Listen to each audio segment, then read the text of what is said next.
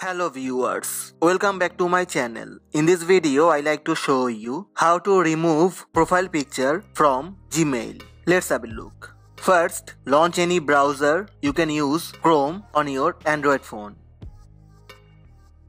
Go to google.com. Then tap on menu bar from Google homepage. Tap on Google Plus. Log in with your Gmail ID and password. After login, tap on the menu bar beside Google Plus. Then tap on Profile. Now tap on your current profile picture. Tap on three dot from the top right side and tap on Delete. Again tap on Delete button.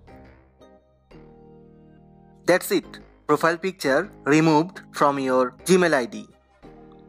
In this way, you can remove or delete profile picture from Google account using Android phone. Hope this video help you. Please subscribe my channel by tap on red subscribe button. Also tap on bell button to receive notifications about all new videos. Thank you. Thank you for watching.